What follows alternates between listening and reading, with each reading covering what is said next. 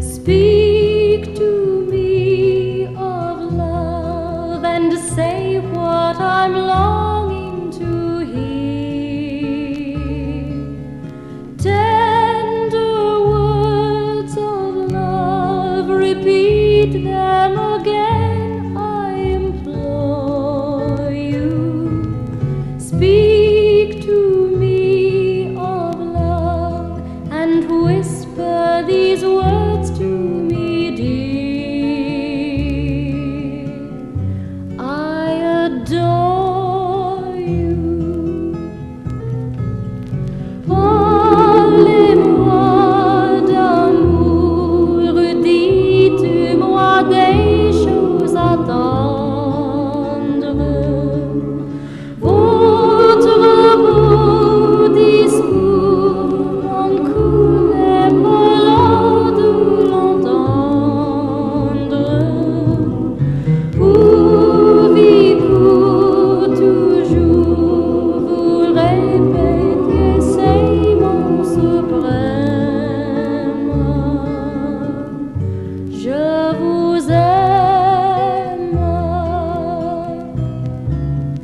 be